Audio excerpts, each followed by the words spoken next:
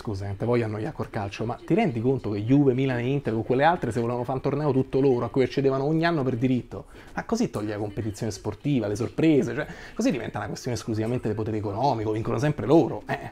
Invece il bello è che non lo puoi mai sapere, non te voglio annoiare, però insomma è calcio, ci sono sempre delle varianti, delle cose inattese, non sempre vince il più forte, il più ricco. Prendi la favola dell'Ester City, è una squadra inglese che contro ogni previsione guidata dal nostro mister Ranieri nella stagione 2015-2016 ha vinto la Premier League.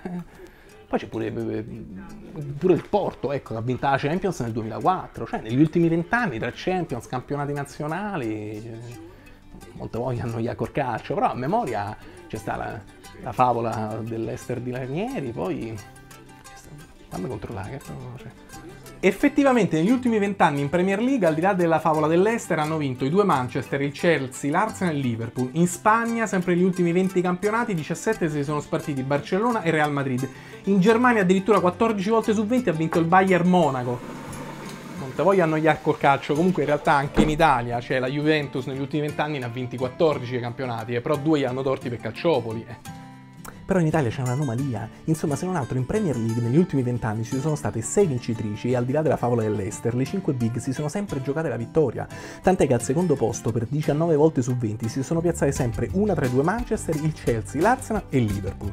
In Spagna, 12 volte su 20, i primi due posti li hanno occupati il Barça e il Real, e si sono alternate la vittoria anche due volte il Valencia e uno l'Atletico Madrid. In Germania il Bayern, oltre alle 14 vittorie, tre volte è arrivata seconda, altrimenti c'è il Borussia Dortmund che è arrivato 5 volte secondo negli ultimi 20 anni, vincendo però anche tre campionati.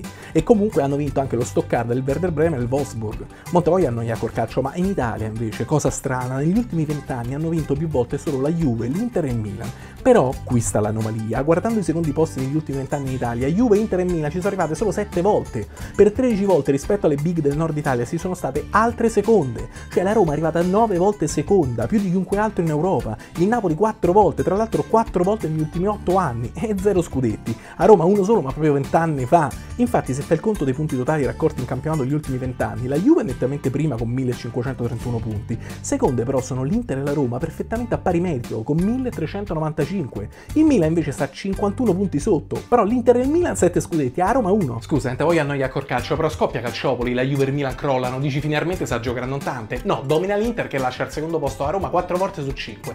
Quando poi finisce l'era Inter dici finalmente il turno da Roma. No, la Roma cala e c'è tempo per uno scudettino e il Milan che era svanito da 6 anni. Poi rispariscono Milan e Inter e riparte il dominio da Juve, 9 scudetti di fila, 7 volte lasciando seconde Napoli e Roma. Poi proprio quest'anno finalmente a Juve toppa, dici quindi è il turno da Roma o del Napoli. No, perché torna dalla grande l'Inter che domina. La sensazione è che le tre big del nord si spartiscano scientemente gli scudetti, senza manco troppo darsi fastidio, altro che antagoniste. Quando una delle tre deve vincere, le altre due non rompono i coglioni. Eh, Scusa, io non te voglio annoiare col calcio, però dice che c'hanno più tifosi. E grazie al cazzo, se vincete sempre voi. Dice che fanno la Superlega perché sono pieni di debiti e rischiano di fallire in pochi anni. Porelle, scusa, ma le sette sorelle ce le ricordiamo? Tra la fine degli anni 90 e i primi del 2000, oltre alle tre solite big del nord, c'erano saldamente i vertici italiani ed europei, anche la Fiorentina con due Coppe Italia e una Supercoppa, la Roma con uno scudetto e una Supercoppa, il Parma con tre Coppe Italia e una Supercoppa, due Coppe UEFA, una Coppa delle Coppe, e la Lazio con due Coppe Italia, due Supercoppe, una Coppa delle Coppe, una Supercoppa Europea e uno scudetto. Poi di colpo, di botto, crack de Parma a Tettanzi e il Parma si disintegra, crack dei Cecchi Gori e ciao Fiorentina. Crack da Ciro dei Cragnotti, la Lazio si squaglia e Sensi per far vincere lo scudetto a Roma si spenna tanto e finiamo un manà e banche. Lo stesso Napoli un decennio prima ha dovuto comprare un extraterrestre per vincere e poi, manca a dirlo, crisi finanziaria e collasso. Non te voglio annoiare col calcio, ma sono solo coincidenze? Non lo so, fatto sta che nessuno all'epoca per stare perso il culo ci ha avuto la brillante idea della Superlega. Non ci avete più i soldi? Sti cazzi, avete vinto sempre tutto voi, come e quando volevate. Famo che magari per un po' ve levate dai coglioni. La Superlega già ce l'avete da più di vent'anni. La favola dell'Ester di Ranieri, la favoletta che ci racconta quanto pelluteci. Eh. Si può pure perdere nel calcio, eh. Mica in crimine, manca un dramma scusa, eh, voglio annoiare col calcio.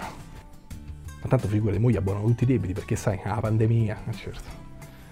Che poi la favola dei Ranieri ci poteva essere 5 anni prima che a Roma, ma ovviamente no, siamo arrivati secondi come al solito, la favola, la favola di sto cazzo. Eh, scusa, te voglio annoiare col calcio.